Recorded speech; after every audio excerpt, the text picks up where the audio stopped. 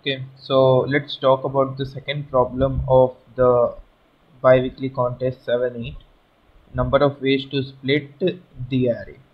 Okay, so we are given a zero indexed integer array nums of length n and uh, we are going to find out the total number of valid splits in the given array. So let's find out what is the definition of a valid split.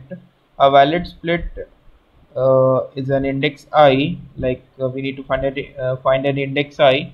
If the following conditions are true the sum of first i plus one elements is greater than or equal to the sum of the last n minus i minus one elements and there is at least one element to the right of i.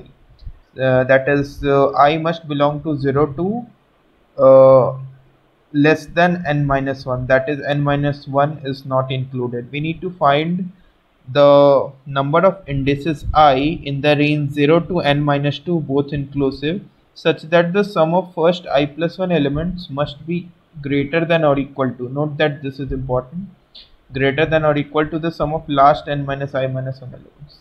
Okay then we need to report the number of such indices i. Note that we are going to report the count.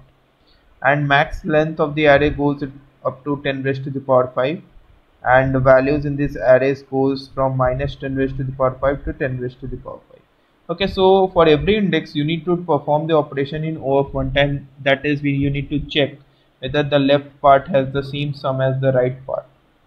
Okay so for this you need to pre-calculate the entire sum of the array.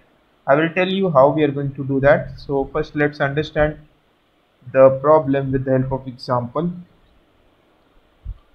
Okay so suppose we have been given the array as 10 okay so let me first change the color. 10 4 minus 8 and 7 okay so we need you need to report the number of indices i such that uh, the sum of first i plus 1 elements must be equal to the rest of the elements. Like greater than or equal to the elements that are present in the right side. So suppose we are at this index so you need to find out the sum of for this one let it be s1 and you need to find the sum that is present over this one. Now if s1 is greater than or equal to s2 you are going to increment our answer by 1 okay. Now similarly you are going to check out for every index. Like uh, let it be this one and this one. Let it be p1 and let it be p2 if you are going to check if p1 is going to be greater than or equal to p2 you are going to increment answer by 1 and if it is not you are going to uh, like your answer remains as it is. Similarly the third one is going to be something like this. That is going to check out for these three numbers. Let it be let's call it as x1 x1 is greater than equal to x2 you are going to increment answer by 1 note that we are not going to uh, look out for the next index because there must be at least one element in the right side right part right? That is in the x2 part or p2 or s2 you can say. Now for every index you need to check the criteria whether the sum of the left part is going to be greater than or equal to the sum of right part in o of one time. How we are going to do that? In uh, in that case you need to find out the sum of the entire array first of all that would take a linear time of n time. Now whenever you are at a certain index uh, you must have to pre-calculate the prefix sum up to this current position.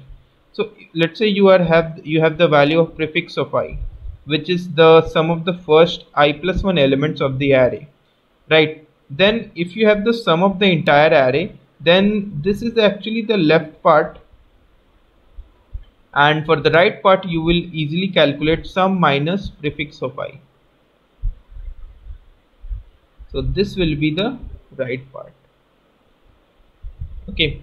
And you need you are going to check if prefix of i is greater than equal to sum minus prefix of i that is left part must be greater than or equal to right part then only you are going to increment your answer by 1 okay. So you can do uh, like you can find out the prefix sum at every index with a single variable also. Since you are iterating in this array from left side to right side you will keep track of variable called prefix sum.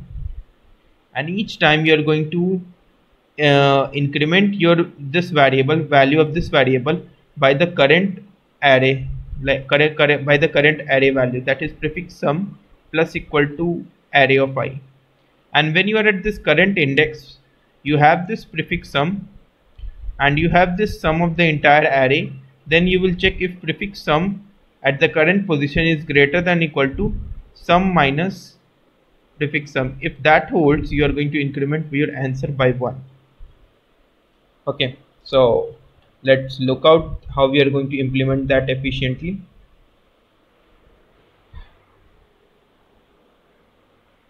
Okay so first I will find out the entire sum of this array. So let I am going to store it in right sum variable.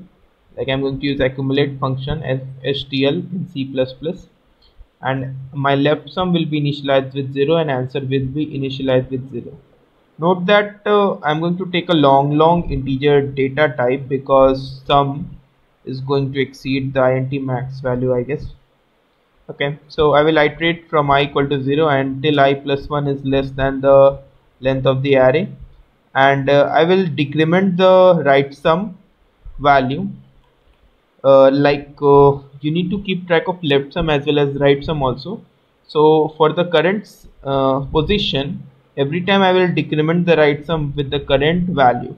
So at each step of uh, iteration at each index every time we have the left sum which will which will be always an increasing value like we are always adding something and the added integer may be negative also.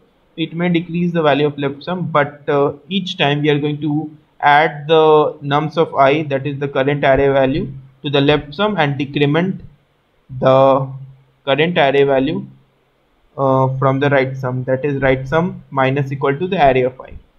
And our answer will be incremented if left sum is going to be greater than equal to right sum so at each step of index we have this sum some prefix sum up to the current index and the suffix sum uh, up to the index i plus 1 that is uh, from i plus 1 to the end of the array we have that sum in the right sum variable.